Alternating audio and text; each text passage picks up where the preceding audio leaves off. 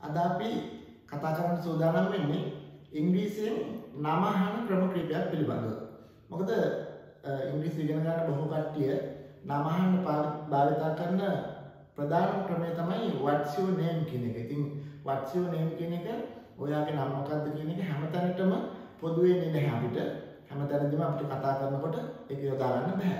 ඒ නිසා අපි වෙනස් වෙනස් ක්‍රම කීපයක් පිළිබඳව අපි අද ඉගෙන ගමු ඉංග්‍රීසියෙන් නම අහන ක්‍රම පිළිබඳව.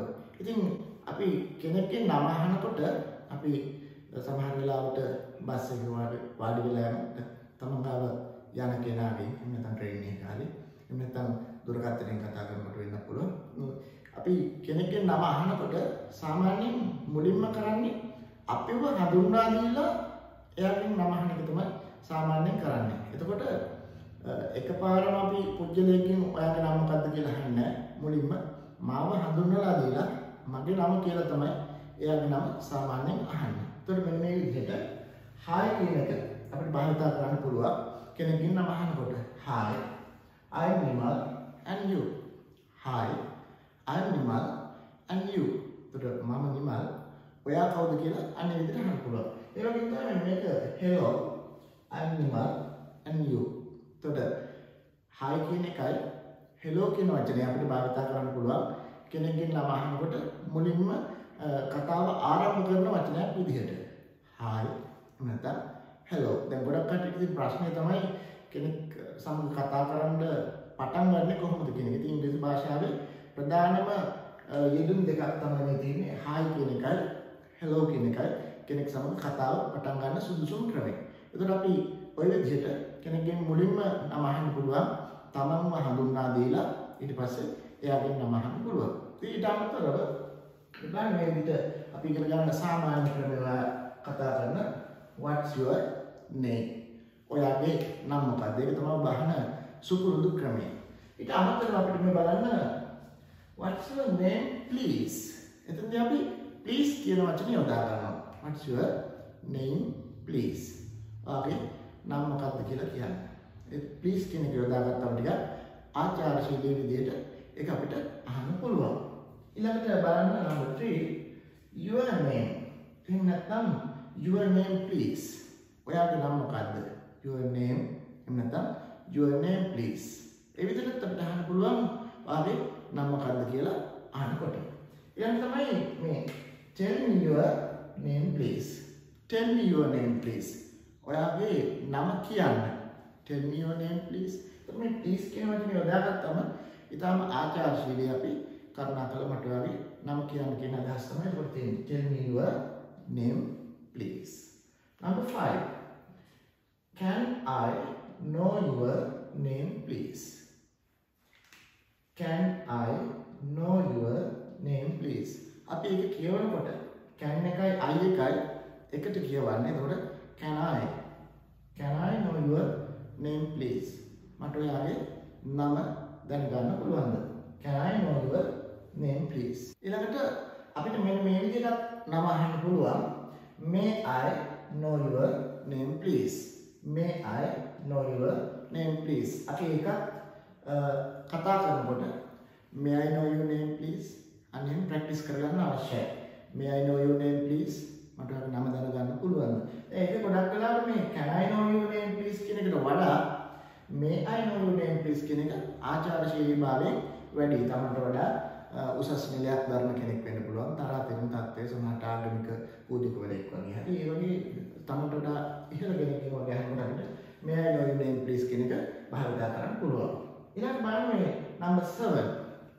Would you mind would you mind telling me your name? Would you mind telling me your name? Would you mind telling me your name?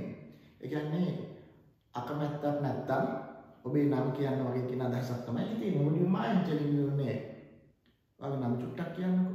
අන්න ඒ වගේ අදහසක්. ඊළඟ බලන්න may I know who you are? May I know who you are? මට කියන්නකෝ ඔයා කවුද කියලා. May I know who you are?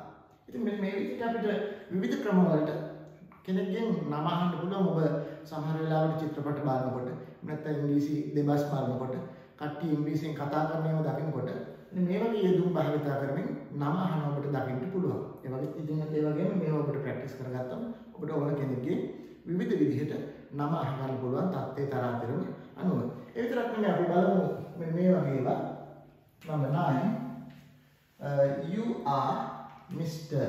you are Mr. නැත්නම් you are Miss නැත්නම් you are Mistress. එතකොට අපි මේ විදිහට නම අහන්නේ you are Mr. ඔයා මෙන්න මෙයා නේද කියලා කට්ටම උත්තරේ දීලා අපිට අහන්න පුළුවන්. ඒකට යාට තියෙන්නේ නම කියන්නේ විතරයි. You are Mr. එතකොට යාගෙන එරේලා. You are Mr. අන්න ඒ විදිහට. You are Miss එහෙම නැත්නම් you are Mistress. අන්න ඒ විදිහට අපිට කෙනෙක්ගෙන් නම අහන්න පුළුවන්. කෙටිම ක්‍රමය තමයි ඒක මේ වගේ දිගට අහන්න අවශ්‍ය නැහැ. කෙටියෙන්ම නම අහන්න පුළුවන්. බලමු අපි number 10 what's your full name? What's your full name? සමහර වෙලාවට ඔබ රාජකාරී කරන කෙනෙක් නම් ඔබට මේ වගේ ප්‍රශ්නයක් අහන්න වෙනවා සමහර වෙලාවට කෙනෙක්ගෙන් ඇප්ලිකේෂන් ෆෝම් එකක් පුරවනකොට වගේ බැංකුවක වෙන්න පුළුවන් සමහර වෙලාවට වෙනත් රාජ්‍ය ආයතනයක පෞද්ගලික ආයතනයක වගේම what's your full name? ඔයාගේ සම්පූර්ණ නම මොකක්ද? එතකොට සම්පූර්ණ නම ගැන ප්‍රශ්න අහන්නේ මෙන්න මේ විදිහට what's your full name?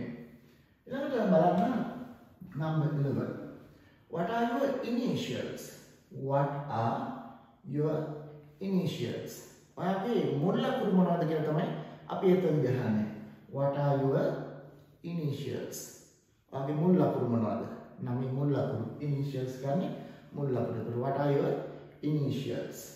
මම ඊළඟ එක number 12. What does JA stand for? What does JA stand for? මෙතනට මේ තියෙන මුල් ලකුණු දෙකක්. ඔබට අවශ්‍ය වෙන මුල් ලකුණක් දාගන්න පුළුවන්. What does JA stand for? ඒ කියන්නේ JA කියන අකුරු වලින් අදහස් වෙන්නේ මොකක්ද කියලා තමයි අහන්නේ.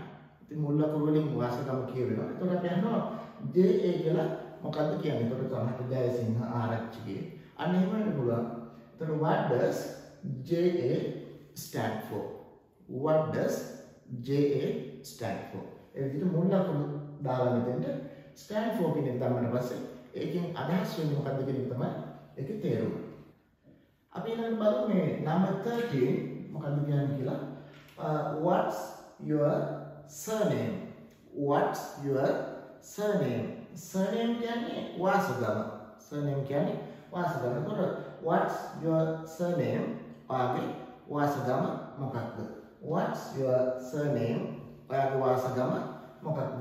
දැන් සමහර වෙලාවට native speakersලා එහෙම කතා කරනකොට අපි හිතමු ඉංග්‍රීසි චිත්‍රපටයක වගේ නම් අපි මේක what's your surname එහෙම අහන්නේ නැහැ සාමාන්‍යයෙන්. මේ what කියන එකේ pronunciation එක what. ඒකට your කියලා pronounce කරන්න ඒගොල්ලෝ your what's your surname. දැන් මේ වගේ වෙලාවට මෙන්න මේ වගේ තැන්වලදී intonation සමහර වෙලාවට භාවිතා වෙනවා. Uh, what's your surname කියනකොට මේ surname කියන කොටස විතරයි සමහර වෙලාවට ඇහෙන්නේ ඔබ චිත්‍රපටයක් වගේ බලනවා නම් හොඳට මේ ඔබ uh, ඉංග්‍රීසි native speakers ලගේ කතා වලට සමන් දෙනකොට ඔබ බලන්න. ඒතර what's your name මෙන්න මේ වගේ වෙලාවට name නැත්නම් surname යන ඒ වගේ තැන් තමයි බර කරලා අහන්නේ. ඒතර rising intonation කියලා අපි හිතට කියනවා. මේ මුල් කොටස මෙන්න මේ කොටස සාමාන්‍යයෙන් නිහඬව වගේ ඇහෙන්නේ. ඒකට ඇත්තටම ඇහෙන්නේ නැති තරම්. what's your surname කියලා සාමාන්‍ය ඒගොල්ලෝ කතා කරන්නේ. ඒතකොට what's your surname? what's your surname? අනේ right? ඒතකොට surname කියන්නේ වාසගම. එහෙනම් ඔයාලගේ වාසගම මොකද්ද කියලා අපිට ඒ විදිහට අහන්න පුළුවන්. ඊළඟ බලමු අපි number 14 what's your nickname? what's your nickname? nickname කියන්නේ සාමාන්‍යයෙන් අපි ඔබ විශ්වවිද්‍යාලවල වගේ අධ්‍යාපනය ලබනකොට සාමාන්‍යයෙන් අන්වර්ථ නාමය දෙනවනේ. ඒ වගේම තමයි පාසලේදී බව නේද? සමහර වෙලාවට සමාජයේ විවිධාංශ වල වැඩ කරනකොට එක එක නම් භාවිතා කරනවා අන්වර්ථ නාම එක එක නම් හඳුන්වීම සඳහා. ඒ වගේ හඳුන්වන නම තමයි මේ නික්නේම් කියලා කියන්නේ. What's your nickname? වාට දාලා තියෙන නම මොකක්ද කියලා යහන්නේ. අපි උපැන්න සාහිත්‍යයේ සඳහන් නමට අමතරව. ඊළඟට number 15 බලමු අපි what's your pet name? What's your pet name? pet name කියන්නේ මේ අපි සුර තරණාන සමහරලාට ගෙදරදී එක එක නම් භාවිතා වෙන දරුවන්ට දෙමව්පියෝ දුන්නු නැත්නම් යාළුවෝ අතර පවා සමහර සුරතල් නම් භාවිතා වෙනවා අන්වර්ථ නාමය. What's your pet name කියන අන්න ඒකට. ඊළඟ බලමු පිළි number 16 your name with initials. your name with initials. මුලකුරු සමග ඔබේ නම මොකක්ද කියලා තමයි මෙතෙන්දී අහන්නේ. your name with initials අවශ්‍ය නම් please කියලා දාගන්න පුළුවන්. your name with initials ඔයාගේ මුලකුරු සමග නම පොඩ්ඩක් කියන්න. අන්න ඒ විදිහට. ඊළඟට බලන්න මේ වගේ එකක්. I'm eager to know your name. I'm eager to know your name. කියන්නේ මට ඔයාගේ නම දැනගන්න ගොඩක් ආසයි කියන එක තමයි මෙතනින් අදහස් වෙන්නේ. සමහර වෙලාවට ඔබ සමාජ මාධ්‍ය වලින් හෝ කොහෙන් හෝ අලුතින් යාළුවෙක් වගේ හඳුනාගත්තම සමහර ලාවට නම හරියටම දන්නේ නැත්තම් ඉතින් මුලින් විස්තර කතා කළා සමහර ලාවට I'm eager to know your name. මට ඔයාගේ නම දැනගන්න ආසයි. සාමාන්‍ය අනිත් විස්තර කතා කරලා අපි අහනවා ඔයාගේ නම මොකක්ද කියන්නේ. එතකොට I'm eager to know your name කියන්නේ මට ඔයාගේ නම දැනගන්න ආසයි කියන්නේ. ඉතින් මෙන්න මේ විදිහට තමයි අපි නම අහන්න පුළුවන් විවිධ ක්‍රම ඉංග්‍රීසි භාෂාවේ තිබෙනවා. ඉතින් මේ වගේ ක්‍රම ඔබ පුහුණු වුණොත් දෙකින් දෙකට ඔබට එක ක්‍රමයකට නෙමෙයි විවිධ ක්‍රමවලට නම අහන්න පුළුවන්කම තියෙනවා.